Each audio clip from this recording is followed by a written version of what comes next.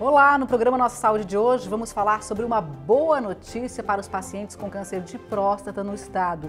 O CEPOM, o Centro de Pesquisas Oncológicas de Santa Catarina, está realizando um procedimento inédito no estado, a braquiterapia, que é um tipo de radioterapia menos invasiva e com melhores resultados. Vamos saber como funciona esse procedimento e quais as vantagens a partir de agora.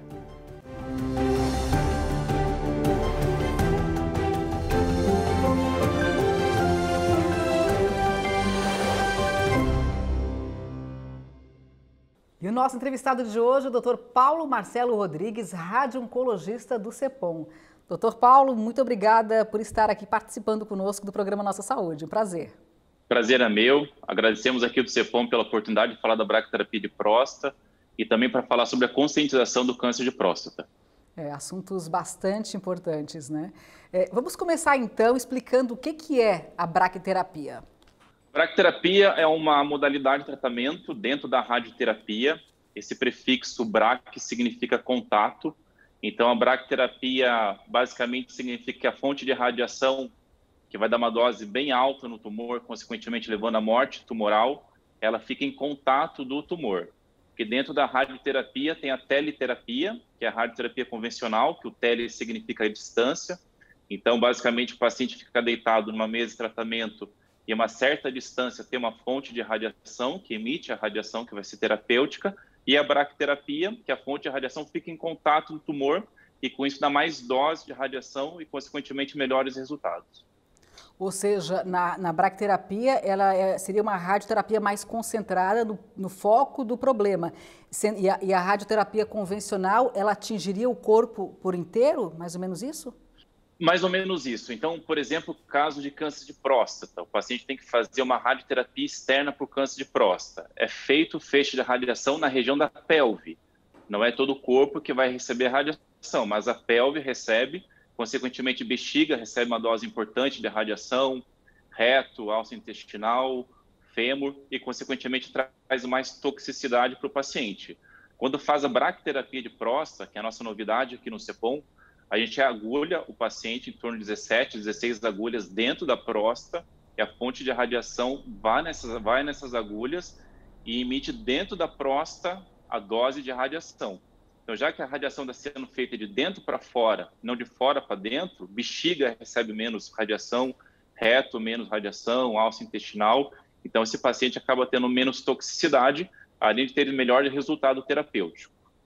E desde quando que o CEPOM né, que fica aqui na capital catarinense, está eh, oferecendo esse tipo de tratamento para pacientes com câncer de próstata? A gente começou esse tratamento no mês passado, em dezembro, já realizamos quatro sessões de braquiterapia. A gente está sendo pioneiro no estado de Santa Catarina. Isso já é um tratamento bastante conhecido no mundo, já é um, é um tratamento bastante consolidado, mas só que infelizmente no estado a gente não fazia. Então, a gente começou agora recentemente, né, com os pacientes do SUS, do estado de Santa Catarina, com câncer de próstata, que tem indicação de fazer a braquiterapia.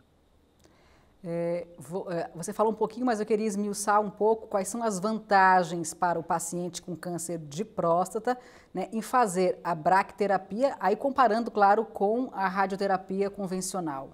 O que, que ganha esse paciente? Perfeito. Então, já que a fonte de radiação está dentro da próstata, a gente consegue dar uma dose bem alta de radiação, esse paciente tem uma sobrevida livre de doença maior. Então, é mais difícil ele ter uma falha bioquímica, é mais difícil a doença voltar no futuro. Então, ele acaba tendo melhores resultados. Também tem essa questão da toxicidade, que a gente acabou de conversar, que dá menos toxicidade na bexiga, dá menos toxicidade retal. Então, esses pacientes têm menos efeitos colaterais do tratamento por exemplo, quais são os efeitos colaterais? Eu gostaria que você falasse depois um pouquinho sobre os efeitos colaterais. Mas pode Perfeito. por favor. É, dentro dos efeitos colaterais, é, assim, é, o paciente faz a radioterapia, é comum ter um pouco de ardência para fazer o xixi, uma disúria, é comum soltar o intestino, ter diarreia, é comum também esse paciente ter disfunção erétil, e quando faz a braquiterapia, é possível ter essas toxicidades, acaba tendo essas, essas toxicidades também, só que uma porcentagem menor. Então, eles têm menos toxicidade vesical, têm menos toxicidade retal, têm menos chance de ter incontinência urinária, né? Cada vez mais está tendo pacientes mais jovens com câncer de próstata, Isso acaba sendo uma preocupação importante quando vai fazer o tratamento para ele, essa questão né, da disfunção erétil. E também é um tratamento mais curto. Então, basicamente, o paciente que faz a radioterapia convencional, ele faz 38 sessões de radioterapia. São sessões diárias, de segunda a sexta-feira, sábado e domingo não faz, e acaba totalizando sete semanas. Quando faz a bracterapia, em muitos casos, só em duas aplicações de bracterapia, no intervalo de uma semana, o paciente já consegue terminar o tratamento. Então, fazendo a bracterapia, em muitos casos, em duas semanas, com apenas duas aplicações, você faz o tratamento, e quando faz a radioterapia externa, são sete semanas de tratamento que o paciente tem que vir todos os dias no serviço da radioterapia. Então, a gente tem melhores resultados, menos toxicidade e é um tratamento mais curto quando faz a bracterapia de próstata. E aí, quando a gente fala né, num tratamento mais rápido também, a gente pensa assim que tem pacientes de todo o estado que vêm para Florianópolis, né? E que, de repente, quando tem que fazer uma radioterapia é, um processo tão longo desse, sete semanas, que tem que ficar aqui, tem que arrumar um lugar para ficar, tem custo né, com relação a isso, tem familiares que tem que acompanhar. E aí, quando você fala também nessa diminuição de tempo, também é um grande benefício nessa questão aí de todo o deslocamento que o paciente tem, de todo o gasto que ele tem para vir para cá, né, doutor? Sim, perfeito. Até esse é um problema mundial, na verdade, o serviço de radioterapia. Então, cada vez mais está surgindo protocolos para a gente fazer esse hipofracionamento tentar encurtar o máximo possível o tratamento para facilitar para o paciente, porque realmente para muitos fica difícil esse deslocamento diário de sete semanas no, no serviço da radioterapia. É, uh, dá para dizer que ganha em qualidade de vida, né? Sim, ganha em qualidade de vida, resultados, toxicidade. A bracterapia traz bastante benefício, por isso que a gente fez esse projeto aqui para o CEPOM.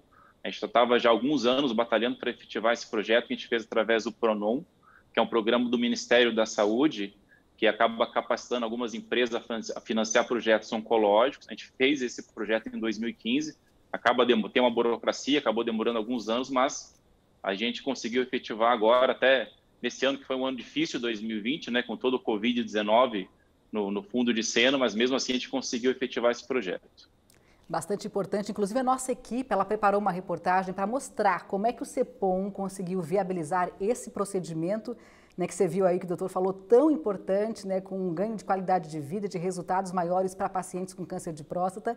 A nossa equipe, então, vai mostrar agora detalhes e também conversamos com um dos primeiros pacientes a fazer esse tipo de tratamento. Só uma olhada. Para o tratamento ser viabilizado em Santa Catarina, foi preciso percorrer uma longa jornada. O projeto começou lá em 2015 e contou com a dedicação de profissionais do CEPOM e da Fundação de Apoio ao EMOSC CEPOM, que trabalhou na captação dos recursos financeiros. O Dr. Guilherme Genovez tem mais informações para a gente. Olá, doutor, bem-vindo. Obrigado, obrigado pelo convite, obrigado pelo espaço. Obrigado pela, por proporcionar né, esse momento de esclarecimento à população. Ótimo, doutor. É, vamos começar então é, explicando para a população como que foi possível então viabilizar esse projeto tão importante para Santa Catarina. A gente conta primeiro com as fontes disponíveis de financiamento dentro do Estado de Santa Catarina, que há fontes de financiamento, dentro da, da União, dentro do Ministério da Saúde e Ciência e Tecnologia também, a gente tem algumas fontes de financiamento, e através também de doação e de empresas catarinenses que se dispõem a ser parceira da FAES com relação à viabilização desses projetos. Esse projeto específico, que a gente captou esse dinheiro dentro do Programa Nacional de Financiamento de Oncologia, chamado PRONOM, que é uma linha de financiamento em que o governo capta junto empresas doadoras que podem doar até 1% da sua dívida com o fisco, elas podem doar isso para esse programa nacional de oncologia. Aí é feito um pool de doadores, esse pool de doadores gera o recurso necessário para que a gente possa fazer as aquisições. O Edson foi o primeiro paciente a realizar o procedimento no CEPOM. Ele conta que o convite foi uma ótima surpresa e que aceitou na hora ser voluntário para a bracterapia. Estava esperando já para fazer as marcações, para iniciar a rádio. Porém, eu já tinha lido sobre a bracterapia e vi que a bracterapia só tinha no Brasil no hospital particular. Aí, quando veio a notícia, né, que eu seria é, voluntário para a braquiterapia, eu aceitei. Então, no dia 10 de dezembro, foi a primeira braque que eu fiz, no procedimento.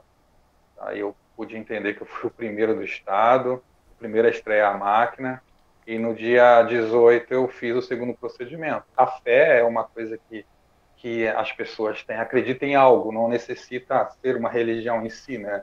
Mas a gente, estava preocupado em casa, como que eu vou fazer? Eu queria fazer a braca, eu não podia operar, porque eu não queria ficar 40 dias fazendo a rádio, porque a rádio, ela, e, além de ser a radiação, ela é bem precisa hoje em dia, mas ela ia prejudicar o ou, outras áreas, porque o som anticoagulado eu teria certeza que eu ia ter algum sangramento depois. E a braca é o ideal, por quê? Porque as agulhas, elas são inseridas diretamente na próstata e a radiação de alta potência é colocada dentro da próstata. Então não há vazamento, né, como na linguagem mais simples, né, para outros órgãos. Aí a minha esposa falou: é, se a BRAC você não pode ir a São Paulo fazer, São Paulo pode vir até você. E foi a surpresa no dia, os médicos de São Paulo estavam junto com a equipe. Então isso aí a gente agradece a Deus e a fé da minha esposa me animar, porque foi um, um baque, né? A gente é, mexe muito, porque infelizmente o homem mexe com um pouco a sua masculinidade. É, existe um preconceito muito grande. Tenho conversado com pessoas tenho visto aí que é muito latente na sociedade masculina. E é uma coisa tão simples de se resolver para nos encadear outro problema. Porque eu vejo pessoas com câncer nos ossos, nos rins, que começou da próstata e não foi tratado. Alguns arrependidos porque não tiveram coragem de ir ao médico fazer um toque, que não dura três minutos. É um diagnóstico também um dos mais precisos. Isso aí é uma coisa que eu sempre converso, sempre tentando alertar amigos e pessoas conhecidas. Doutor, conta para a gente um pouquinho como é que é a recuperação de um paciente que, pra, que passa pela bracterapia. É uma recuperação imediata. É, o paciente vem para nós, a gente faz uma consulta, a gente pede uma avaliação também anestésica, já que é um procedimento, o paciente tem que fazer sedado, anestesiado. Se a equipe da anestesia liberar o procedimento, então isso é feito pela manhã, a gente está colocando para fazer as quartas-feiras aqui no CEPOM, é em torno de três horas e meia, quatro horas cada procedimento é colocada uma sonda vesical também na bexiga do paciente. Termina o tratamento, o paciente se recupera da anestesia na nossa sala de repouso. A gente verifica se a urina do paciente está ok, tiramos a sonda, ele consegue urinar espontaneamente, está liberado para ir para casa. Não precisa ficar internado, como o caso de uma cirurgia, depois do procedimento. Então, no mesmo dia, o paciente faz o tratamento e já vai para casa. Olha que maravilha. E como é que é a estrutura? É preciso é, é, é usado é utilizado robô? Como é que é essa tecnologia? Conta um pouquinho para a gente. A gente precisa de uma sala de braquiterapia que a gente já disponibilizava aqui no CEPOM. Então já faz mais de 10 anos que a gente já fazia braquiterapia ginecológica para tumores de colo uterino, de câncer de colo uterino, tumores de endométrio. E agora então a gente já, a gente já tinha estrutura para braquiterapia, já tinha um robô que tem a fonte de radiação que é o Iridium 192, que é uma fonte de radiação que a gente tem que importar da Europa a cada três, quatro meses. Então, toda a estrutura a gente já possuía. O que a gente precisava era de um ultrassom, porque através desse ultrassom que a gente vai agulhar a próstata e, do, e dos acessórios para fazer a bracterapia de próstata.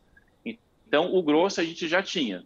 Agora, com o projeto do Pronou, que a gente conseguiu esses acessórios finais para a gente efetivar a bracterapia de próstata todos os pacientes diagnosticados com câncer de próstata, eles podem fazer esse procedimento de bracterapia ou não? Isso é uma ótima pergunta. Quando a gente fala em câncer de próstata, a gente tem uma tendência a colocar tudo no mesmo cesto, no mesmo balaio. Só que dentro do câncer de próstata tem vários subtipos. Tem câncer de próstata muito baixo risco, baixo risco, risco intermediário, alto risco, muito alto risco e paciente que infelizmente já abre o diagnóstico com metástase, principalmente metástase óssea. Então a gente vai ter que estratificar qual risco que esse paciente tem para indicar a bracterapia. Além da bracterapia e da radioterapia, tem outras modalidades terapêuticas também. Esse paciente pode fazer a cirurgia, tem crioterapia, tem o que a gente chama de raio-fu, que é ultrassom de alta densidade, mas basicamente esse paciente ou faz a radioterapia, ou faz a cirurgia, ou naqueles casos que é de muito baixo risco e baixo risco, também tem a opção que a gente chama de segmento ativo. O que é esse segmento ativo? O paciente não opera e não faz a radioterapia, Só que de tempos em tempos ele tem que ficar fazendo o PSA e ficar fazendo novas biópsias. Se o tumor tornou mais agressivo, aí sim faz a radioterapia ou a cirurgia. Então, essa conversa é feita com o paciente no âmbito de uma equipe multidisciplinar, com urologista, com oncologista clínico, com radio-oncologista, que é o meu caso. A gente conversa com o paciente, explica as modalidades de tratamento baseado na estratificação de risco que ele está, e juntamente com o paciente a gente acaba determinando qual tratamento vai fazer. Que o paciente vai avaliar os riscos, benefícios, toxicidade de cada tratamento, que são tratamentos com resultados semelhantes em relação à terapêutica, só que com toxicidades diferentes. Daí o paciente que acaba escolhendo se ele vai querer operar, se o paciente vai querer fazer a radioterapia. Daí dentro da radioterapia a gente escolhe fazer a braquiterapia, que tem aquelas vantagens que a gente já conversou, né, em relação à radioterapia convencional. Então tem vários tipos de tratamento para o câncer de próstata que a gente acaba discutindo conjuntamente com uma equipe multidisciplinar, juntamente com o paciente para tomar a decisão terapêutica. Aí é, cada caso é um caso, né? Tem que ser estudado, Exatamente, cada isso. de forma individual. Isso, o resumo é que cada caso é um caso, exatamente. Cada vez mais na oncologia o tratamento está bastante individualizado. Doutor, o senhor falou que o CEPOM está realizando esse tipo de procedimento desde dezembro do ano passado, nós estamos agora em fevereiro, né? Mais de quantos pacientes a gente pode dizer aí que já utilizaram desse, desse tratamento? Seis pacientes, mas a nossa ideia é fazer uma vez por semana ou duas vezes por semana. Inicialmente a gente tem a ideia de fazer pelas quartas-feiras de manhã mas claro que isso também depende da demanda de pacientes com câncer de próstata que vêm até nós para fazer o tratamento. Mas acredito que vai ficar nessa média de um a dois pacientes por semana.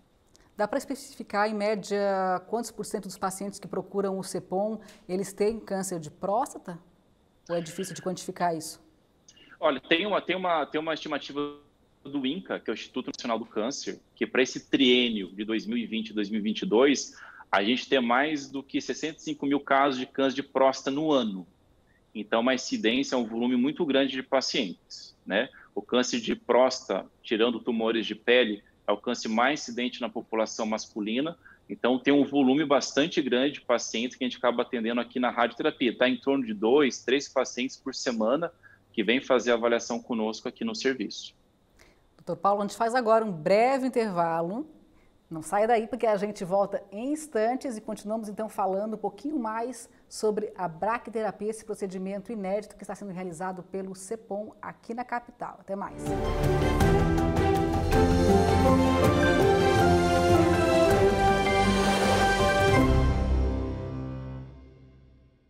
Estamos de volta com Nossa Saúde. A gente continua aqui o nosso bate-papo com o Dr. Paulo Marcelo Rodrigues, radio-oncologista do CEPOM. É, doutor Paulo, a gente falou no primeiro bloco sobre a utilização da braquiterapia para o câncer de próstata no, no CEPOM, mas a, além de tratar esse tipo de câncer, a braquiterapia ela pode ser usada também para tratar outros tipos da doença, por exemplo? Sim, é, inclusive aqui no CEPOM a gente faz braquiterapia para câncer de colo uterino, a gente tem um volume bastante grande de pacientes que tem que fazer braquiterapia para câncer de colo uterino, tem braquiterapia a gente faz aqui também para câncer de endométrio, e agora a gente começou braquiterapia para câncer de próstata. Mas também é possível fazer braquiterapia para tumores de partes moles, braquiterapia para câncer de esôfago, braquiterapia para câncer de pulmão, enfim. É uma, é uma possibilidade muito grande de, de, de tipos, de tipos de tumores que a gente pode fazer a braquiterapia. No Brasil, infelizmente, não tem uma cultura forte de fazer braquiterapia. Isso é mais comum na Europa, principalmente na França mas é um tratamento muito bom, tem várias vantagens. Infelizmente, no Brasil, isso acabou não decolando muito, porque até na tabela do SUS era muito restrito as indicações para fazer braquiterapia, ficava restrito basicamente para câncer de colo uterino endométrio. Agora, recentemente, na tabela do SUS está contemplado também braquiterapia de próstata, também é mais um motivo que nos anima a fazer, mas sim é possível para fazer braquiterapia para quase todos os tipos de tumores. Santa Catarina se espelhou em algum modelo de alguma cidade do exterior para trazer para cá esse procedimento? Em 2015, quando a gente fez o projeto, a gente teve a oportunidade de visitar o Hospital do Amor de Barretos, que é um serviço, um hospital oncológico muito completo, muito bom. A gente já criou uma amizade com, com os doutores, com os médicos de lá, com a equipe de lá. Inclusive, para o nosso treinamento que a gente fez no mês passado, a gente convidou os médicos de Barretos para fazer o treinamento conosco, que a gente já tem já uma, uma amizade de anos. Então, o que a gente acabou se espelhando foi o Hospital de Amor de Barretos, porque é um hospital com bastante características semelhantes ao CEPOM, que é um hospital que tem um volume grande de pacientes de SUS. Então, foi ali que a gente buscou a nossa inspiração maior, o Hospital de Amor de Barretos. Uh, a braquiterapia ele é um procedimento, ela é um procedimento caro? Se fosse feito de forma particular, quanto em média um paciente gastaria para fazer esse tratamento? Sim, é caro. Se o paciente quer fazer o tratamento, inclusive aqui no estado de Santa Catarina, não é possível, que só nós, o CEPOM, que disponibilizamos a tecnologia para fazer a braquiterapia de próstata. Mas se ele escolhe fazer em outro estado, principalmente em São Paulo, que tem alguns serviços né, particulares que pode fazer, Varia, claro, de hospital para hospital, mas fica uma média de 15, 20 mil reais ou até mais. A ideia é trazer esse procedimento para outros hospitais aqui de Santa Catarina? A ideia inicial nossa é ficar restrita realmente ao CEPOM, porque é um projeto nosso aqui do CEPOM. Mas, claro, se algum outro hospital que atende pacientes oncológicos, que tem serviço de radioterapia, também ficar disponível a trazer essa tecnologia, né? Ótimo também, o Estado como todo vai ganhar, a fila de espera diminui, mas por enquanto é só o CEPOM que está fazendo, nós que fomos pioneiros, né, com esse tratamento, e eu desconheço algum outro serviço, até que tem algum projeto, pelo menos a curto prazo, de fazer bracterapia de próstata aqui no estado de Santa Catarina. Como é que é o treinamento da equipe para fazer esse procedimento?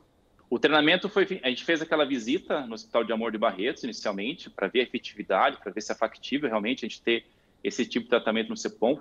Então, após essa visita, a gente viu que é bastante factível, que a gente tinha a estrutura básica para fazer a braquiterapia de próstata. E depois a gente conseguiu que o próprio pessoal de Barretos viesse até aqui a Florianópolis para fazer o treinamento junto com a gente, com a equipe da enfermagem, com a equipe de física médica, que a gente trabalha junto com o físico, ombro a ombro, que é um profissional super capacitado, super especializado para fazer esse treinamento também. Então, eles vieram até nós para fazer o tratamento conjuntamente. Uh, na sua opinião, quais são os maiores desafios do CEPOM né, no combate ao câncer, e aí falando de câncer de uma forma geral? Não só o CEPOM, mas todo o serviço oncológico é a conscientização. Por isso que é importante os meses né, de conscientização em relação ao rastreamento, em relação a importância do tratamento do câncer. Então, em relação ao câncer de próstata, a gente tem o Novembro Azul, que é o Novembro de Conscientização. Quando a gente fala em conscientização, isso leva à ação. Então, o paciente ele tem a ação de procurar um especialista para ver se tem necessidade dele fazer o rastreamento, se ele tem necessidade, né, no caso até de fazer o tratamento, que inicialmente acaba sendo com o urologista. Então, até para o câncer de próstata, isso é uma, uma, uma, boa pergunta em relação à conscientização, porque isso tem algumas, algumas questões bastante discutíveis. Todo homem tem a necessidade de fazer o rastreamento para o câncer de próstata, então ainda não está claro que para o câncer de próstata, a maioria dos homens eles têm benefício do rastreamento do câncer de próstata e que esse benefício vai, vai superar os riscos dos exames. Então, o que, que se tem de recomendação básica? homem acima de 40 anos que teve dois familiares de primeiro grau, então um irmão ou um pai com câncer de próstata com uma idade menor do que 65 anos, já é um indicativo de procurar um urologista para avaliar a necessidade de fazer o rastreamento e alguns exames. Se é acima de 45 anos, tem que ver se ele já teve algum, algum parente de primeiro grau, né, que teve câncer de próstata com menos do que 65 anos, e no restante dos homens acima de 50 anos, e ele tem uma expectativa de vida acima de 10 anos, já tem uma indicação de fazer consulta com urologista para verificar a questão do rastreamento. Existem também fatores de risco, né, por câncer de próstata, então a idade acaba sendo um fator de risco importante, quanto mais velho o homem, mais chance dele tem que ter o câncer de próstata, também raça, descendentes de africanos, caribenhos também tem uma, uma chance maior de ter câncer de próstata, então, história genética, história familiar. Então, são fatores de risco que a gente tem que ficar atento, a gente tem que conscientizar através do, do Novembro Azul esses fatores de risco, a população ficar alerta e ver se ela fica inserida nesse grupo de risco que tem a necessidade de fazer consulta com o urologista e avaliar o rastreamento. Você tem percebido também um pequeno aumento aí no número de pessoas mais jovens, homens mais jovens com câncer de próstata. O que explica isso? Então, isso tem vários, tem várias discussões, vários estudos avaliando isso. Então, tem outro, alguns fatores de risco ainda não tão bem claros, que a gente chama de fatores de risco incerto, que talvez é, nos dê uma resposta por que cada vez mais a população jovem está tendo câncer de próstata. Então, o tabagismo acaba sendo um fator de risco a se pensar, uma dieta rica em gordura, uma dieta que não é balanceada, parece também acaba sendo um fator de risco para o câncer de próstata. Obesidade também parece que acaba sendo um fator de risco para o câncer de próstata. Então, parece que o estilo de vida, esse estilo de vida que a gente tem, infelizmente, desequilibrado, acaba propiciando, né? Então, essa população mais jovem está tendo cada vez mais câncer de próstata. Uh, o senhor acredita que ainda haja muito preconceito com relação até ao homem, né, procurar um urologista, fazer os exames que tem que fazer? Ainda existe isso ou já tem melhorado? Como é que o senhor percebe essa situação? Tem melhorado, mas ainda tem preconceito. Somente na, isso não só no Brasil, na população da América Latina como um todo, né? Nossa cultura, infelizmente, ainda tem um preconceito em relação ao toque retal, mas lembrando que o toque retal, junto com o PSA, que é um exame de sangue que faz, né? que, que, nos orienta se o paciente tem uma suspeita ou não de câncer de próstata, ele é bem importante nesse rastreamento. Porque tem pacientes que fazem o exame de sangue do PSA e ele está normal e vai verificar a suspeita só através do toque retal. Só através do toque retal que o urologista ou médico acaba avaliando que tem um nódulo, tem uma consistência, uma consistência diferente na próstata, ali acaba sendo indicativo de fazer uma biópsia. Então, a gente não pode fazer o rastreamento apenas com o exame de sangue tem que vencer essas barreiras, tem que vencer esse preconceito e sim tem que fazer o toque retal se tiver necessidade de realizar o rastreamento.